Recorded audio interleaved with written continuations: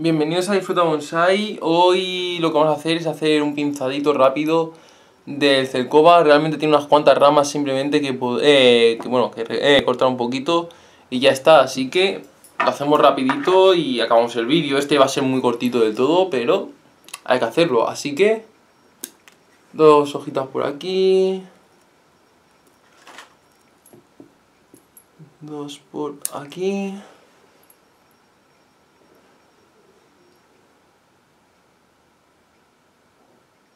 Vamos viendo aquí otro poquito. Y bueno, aquí hay una que sí. A ver, primero cortamos la rama de aquí. Está seca. Y ahora por ahí para que vaya sacando las hojitas que vamos a necesitar luego. A ver, ay, por aquí no. Ay. Sí que veo que las hojas me están saliendo un poco raras. Pero bueno.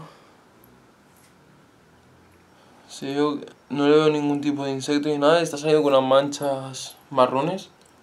Si alguien tiene un olmo y sabe que puede ser, que me lo diga. Porque no quiero que pueda tener como... Los olivos, no quiero llevarme sorpresitas. Y si me da sorpresa, al menos que me guste. A ver, pues esto fuera. Aquí cortamos también, que está seco. Esto está seco. Vamos a sacar ahí. Y... Mm, mm, mm. Vamos a ir viendo por aquí. Ya tenemos, por cierto, la rama esta que va empezando a cubrir la zona que nosotros queríamos que cubriese. Esta también va cubriendo. A ver, aquí le tenemos que cortar un las puntitas estas que dejamos la vez anterior. Y... Bueno, a ver... Aquí... Que estas hojas están hechas polvo. Son sobre todo los nuevos brotes que salen hojas... A ver, mira, corto esta. Sale como manchitas en la hoja manchitas marrones. Si también por el envés. Si alguien tiene un celcoba y sabe lo que puede ser, que me lo diga. Y así saber qué echarle. A ver... Mm.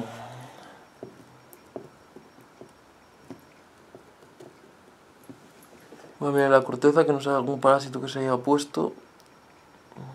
No parece.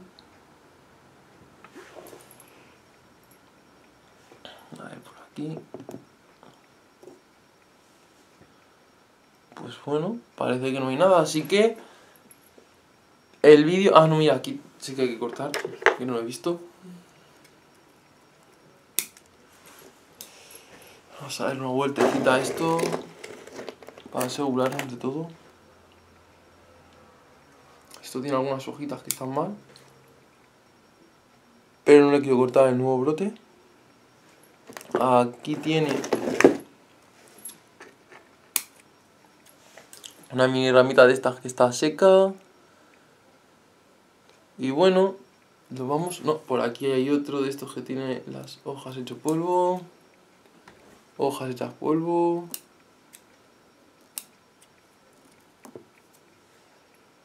Ahora ya sí que sí, hasta aquí el vídeo de hoy, espero que os haya gustado y en el próximo vídeo lo que voy a poner es el cercobo, eh, el cercobo, sí, el cercobo grande y bueno, hasta el próximo vídeo, espero que esto os haya gustado, dale a like.